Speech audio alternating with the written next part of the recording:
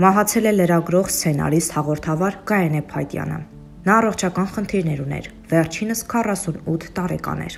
Նա որպես լրատվական մեկնաբան 1995-ից 99 թվականներին աշխատել է Հայաստանի ազգային հեռուստաընկերությունում։ 1999-ից 2015 թվականներին հայկական երկրորդ հեռուստաալիքի լրաբեր լրատվական ծրագրում։ 2000-ից 2008 թվականին եղել է Հայաստանի Հանրապետության ազգային ժողովի հասարակության հետ կապերի վարչության գլխավոր մասնագետը։ 2004 թվականից միջազգային հեռուստատեսային ակադեմիայի անդամ է։ 2006 թվականին հայկական երկրորդ հեռուստաալիքով հեղինակել եւ վարել է Կախման կետեր 2017 թվականից Զրույց Փաթյանի հետ հաղորդաշարերը եւ այլն։ Մասնագիտական ակտիվ գործունեության համար Գայանե Փաթյանը արժանացել է Երևանի քաղաքապետի պատվոգրին, ստացել է բազմաթիվ շնորհակալագրեր։ Ելակետ լրատվական գործակալությունը ցավակցում է Գայանե Պատյանի ընտանիքի անդամներին, հարազատներին եւ գործընկերներին։